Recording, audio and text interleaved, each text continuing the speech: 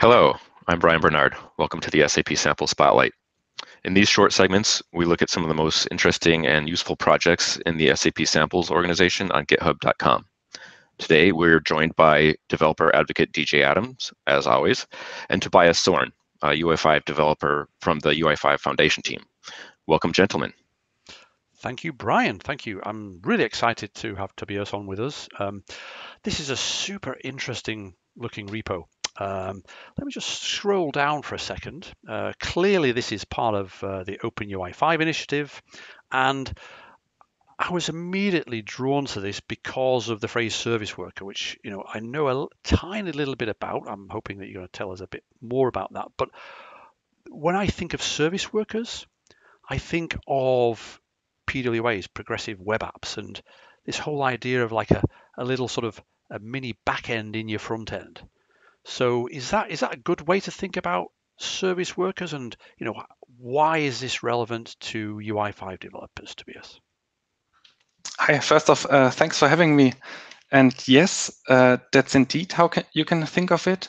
So the service worker API inside the sample is exactly used for this purpose. It's used for caching and using the latest web technology features, such as the, as you already said, the service worker in the and the indexed API, mm-hmm. and shows how you can integrate it into your UI5 application. So basically, um, this is a well more than a proof of concept. Obviously, I can see the disclaimer here. You know, folks in the in the community, developers, you've got to figure out how you want the service worker to work for your own productive applications. But this this looks to me like a really nice example of how you might utilize the, the power of a or the facilities of a service worker in a, a UI5 based uh, web application, right? Exactly. So um, it's UI5 specific, so you can um, can configure it, of course, the way you want to have it, and basically it can work with UI5 apps which are configured such that the framework is, for example, loaded from the content delivery network, and mm-hmm. the application resources are served on a specific um, web page, and it right. can be uh, configured for this specifically.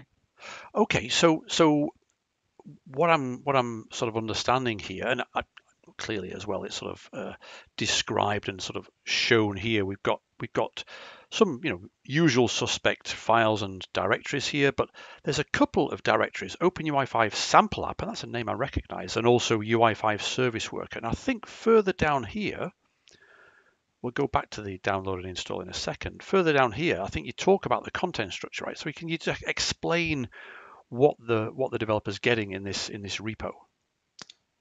Exactly. So the first item is the OpenUI5 sample app. So it's um, that's the one we all of, know and love, right? Yeah. Exactly. That's the one being used out there as a starting point for all of the uh, the applications being created, and it's slightly modified such that it uses um, the service worker, which you can find under this UI5 service worker folder. And, okay. And this one contains basically the source code for a service worker, which is UI5 specific, but also contains other um, I say caching strategies. So, so one of the one of the features that I'm aware of, at least in my very small amount of knowledge about serv- the Service Worker API and what they're used for, you know, caching caching of of uh, resources of assets, especially you know if the if an app goes offline, that's that's one of the key benefits of coupling your front end app with a service worker. Is that is that uh, the right way to think about this sort of thing? Exactly. So it basically um, checks first. So when the service worker, it runs in the background. And for the very first request, it checks, okay, is there a newer version on the server? Mm-hmm. If so, it loads it into the cache and uses it. But otherwise, it uses um, that's main uh, that's most of the time it's using the cache without actually requesting the server any further, and also with that is able to provide an offline scenario. Gotcha, gotcha. Okay, so um, in fact, just before we dive into the, the service worker directory, because I think a lot of folks will be already familiar with the, the sample app. That's that. By the way, if you're not familiar, That's the, the lovely to-do app here, uh, which has been around for a while. Uh, and this little sort of animated GIF shows, I think, the service worker in action helping out. But I just wanted to point out that, that I've done this. I've, I've cloned the repo, done the npm install, you know, the standard sort of um, incantation npm start, and navigated to the uh, to the local server, and everything worked beautifully, right? So that's maybe maybe that's the first thing that you know you sh- one should do when when looking at this repo. Just download it and start it running and have a start poking around. Is that is that what you'd recommend? Exactly. So the um, you wanted to have it really easy to consume. So you just clone it, install it, install it, and start it just like every other uh, basically a modern repository you go to, and then you can figure it out for yourself. So the best way to see how something is working actually to get your hand at it. Yeah, so that's the idea. Totally agree. Totally agree. And in fact, let's so let's just jump into the UI5 service worker directory, um, just to have a feel for what's in there, right? Maybe maybe you could just give us a quick overview while we're looking at this. You know, what's in this service worker directory and how things how things generally work. Let me make that a little bit smaller so we can see it. There we go. Exactly. So the service worker implementation provides various uh, caching strategies.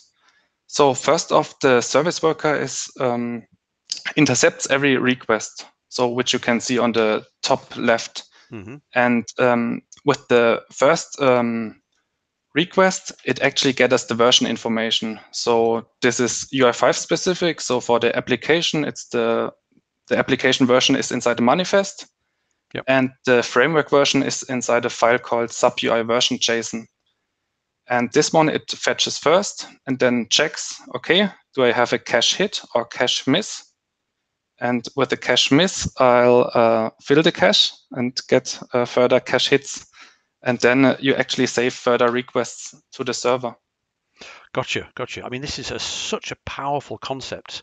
Um, I definitely think it's worth, you know, folks like uh, me and other developers looking more into the Service Worker API. As far as I understand it as well, what's important to know is that, well, first of all, everything is asynchronous, right? So you, you really got to embrace the whole asynchronous nature of, um, you know, web-based application uh, development, but also maybe maybe more interestingly, is it is it that the service worker itself it that that is completely or more or less independent of what's on the glass. It doesn't have access to the DOM. It's not really you know it, it really is like a mini backend. Exactly. So the service worker is, uh, like you say, like a mini backend, like a proxy, which intercepts the requests and which can also store these responses. So that's um, the baseline for the offline scenario. So you don't have to query the server anymore. You can just uh, work on the resource which you have inside your cache. Gotcha, gotcha, gotcha. So just one more thing before we uh, before we wrap up. I did notice that not only um, do we have this sort of pairwise set of uh, directories here that sort of work together, the, the actual front end app and the service worker, but you've given a presentation at UI5Con, right? So that you, have linked to the resources for that presentation here. Exactly. So this was a long time um, demonstrated. Um, one thing or one question which I got as a as a feedback. Okay, when can it actually be consumed? And I can proudly say that now it's the time that it can be consumed. It Fantastic. can be uh, integrated into your own application. Superb. So, Tobias, um, just before we wrap up, is there anything else you want to point us to here in the repo, or should just people just go and clone it and uh, you know start hacking? Exactly. So, um, of course, uh, start hacking and provide feedback, provide pull requests. Good point. Exactly. And uh, one thing uh, which uh, needs to be mentioned. So, of course, the service worker API can only work on asynchronous requests. So, if there are any synchronous requests triggered, they won't be intercepted. Gotcha. Perfect. So Tobias, that's that's it from me. Thank you so much for joining Brian and me here. Um, yeah, and folks, go to uh, the SAP samples and uh, check this out. Thanks for having me. Yes, do that. Thanks, uh, Tobias, for the excellent work and DJ for the tour. See you next time. See you, folks. Okay, bye.